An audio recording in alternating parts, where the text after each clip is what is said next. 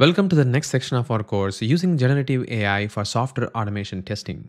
And in this section, we are going to talk about how we can build our own visual testing with generative AI.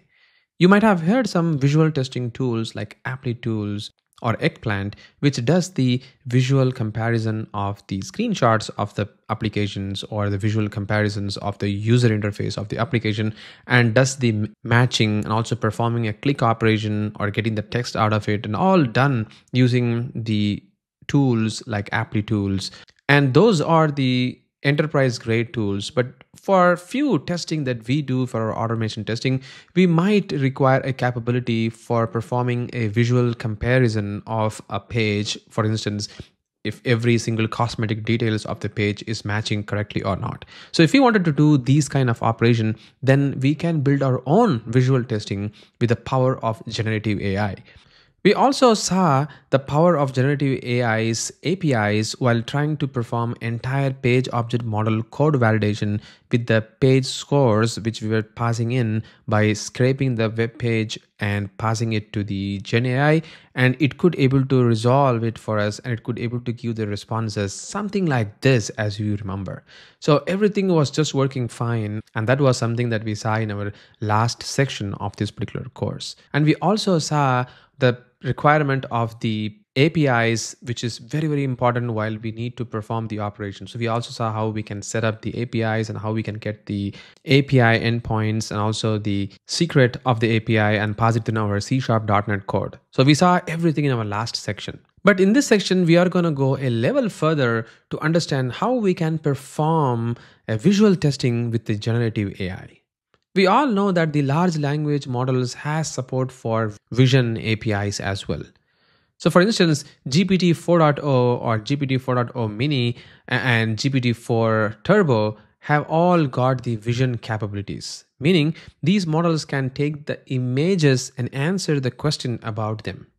So we can pass these images as either an URL or a base 64 encoded image and it will give you the responses based on what kind of image it is and based on the question that you really ask to it. So if you go to the OpenAI platform and then if you just go and see there is something called as the vision capability where you can see that this is the GPT-4 uh, Turbo, Turbo Mini uh, and uh, all these models that it has got has got the ability to identify and recognize the image and it can give you the responses out from it. And you can also use these responses to perform the operation that you are intending to do.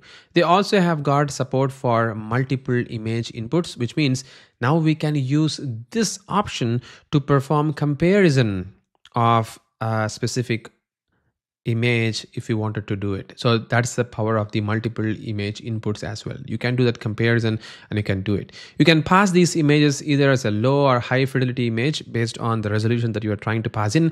But you will notice that if you're going to be passing a low resolution image you will be just spending around uh, 85 tokens for that. But if you're going to be sending a high resolution image for instance uh, if it's going to be like an higher pixel resolution then you will be ending up spending higher tokens so that is an example that they have given like how you will be spending the tokens and the, cost involved for a specific image that you are trying to send to the OpenAI's API. So those things are all described in here and like how the rate limiter works and how the cost is being calculated. But the idea is this, you have the ability to send an image to the API and then you can get the response out of the APIs to describe that image that you're looking for. Well, as I said, now we will discuss how will this vision support help us do visual testing in automation testing, especially for the Selenium automation testing or Playwright automation testing that we do most of the time. Well, the scenario is going to look something like this. What we are planning to do this time in this particular section is that we are going to have an application working state, uh, just kind of like an image that we're going to be capturing. And then we're going to compare the the image with the working state image of an application uh, maybe you can just consider this state as something like uh, like a modified ui state or anything like that so if you feel like this particular ui may be different from the working state ui then you're going to pass these two images to the vision API of the of the model that we have got. And then we will see or analyze if both the pages has got any difference. And if they are having any difference then just get me of all the differences that you have got so if they are not if they are matching then you just tell me uh, to execute the code because this just work fine. But if they're not matching because there is some differences in them then just show me all the differences that this particular images has got within themselves.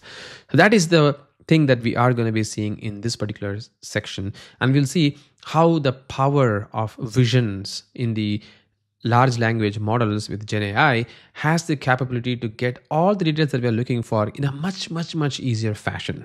So we are going to use the same exact capability that we saw in our last section where we were using a .NET code to pass the data right to the API and get the responses back and then parse the responses based on the need of our requirement. In this lecture, we are going to talk about the scenario that we are going to be automating in this particular section.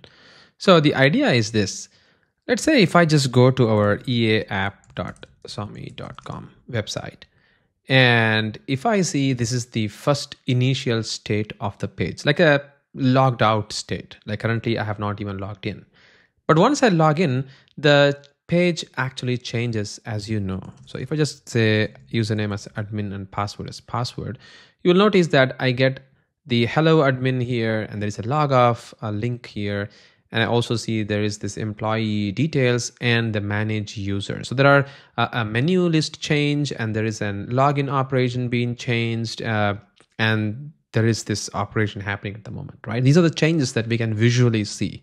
So these changes uh, may not be in a first instance encountered immediately, but if we could use these kinds of API, for instance, the visual API or the Vision API or the Vision based tools like the Applitools or the Eggplant tool.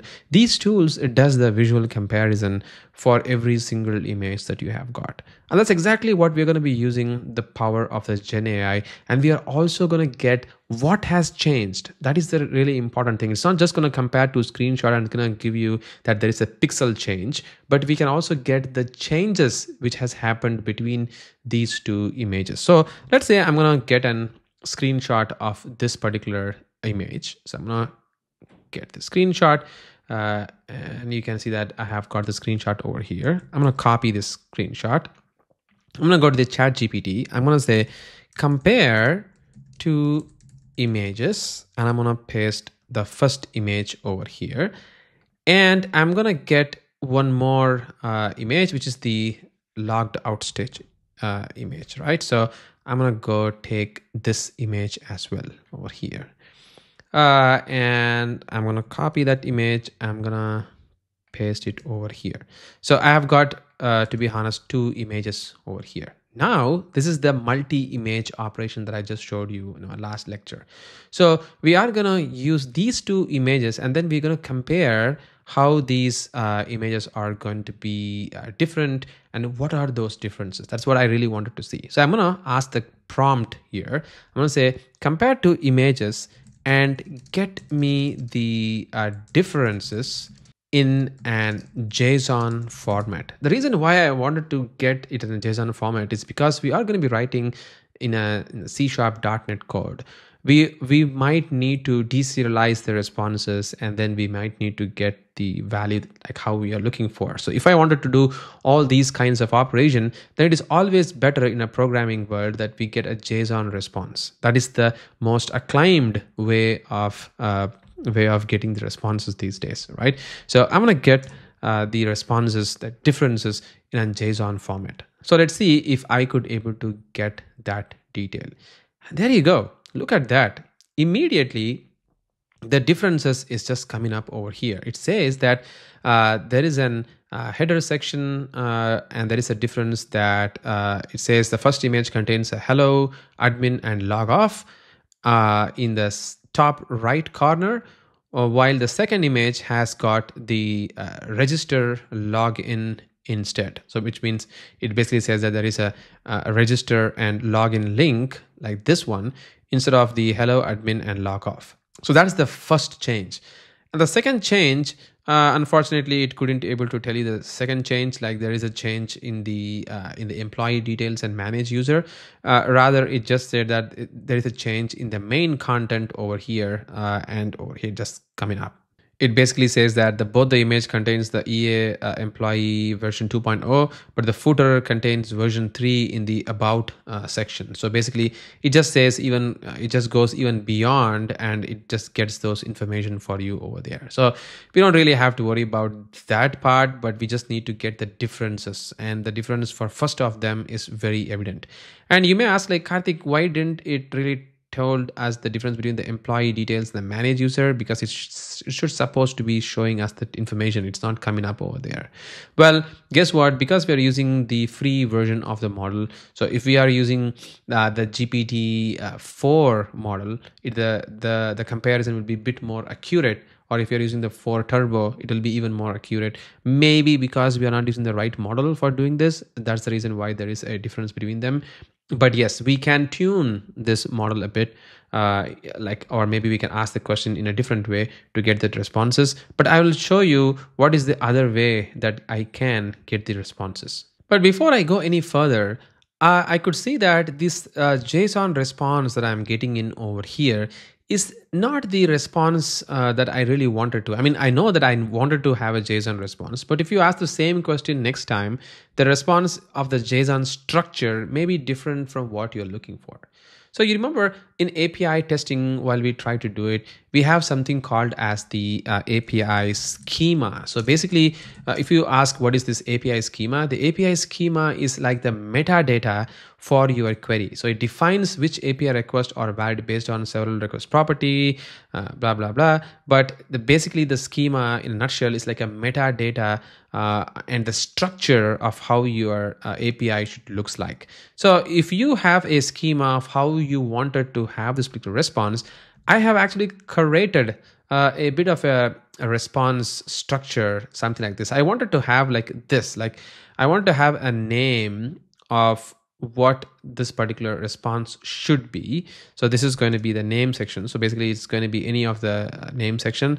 And then I wanted to uh, uh, tell what is the difference in the uh, first image just give me all of them in an array and if there is any uh, difference the second image like employee list employee details manage user get me all those details in the second image array and if there is any other change just give me for the second one and similarly for the third one so i i need to have all these kind of schema structure in place and that's the reason what I did is I ended up writing an entire schema, uh, something like this, as you can see over here. So let me just prettify that. So this is my schema. It's very straightforward and simple schema. So I have got an elements and this is the name of that particular element, uh, like the structure. And then the first image and second image like what are the changes it has got. And similarly second uh, name like the category. And then i wanted to see the difference between the first one and the second image. So these are all the things that i have got. I wanted to ask based on this particular schema structure.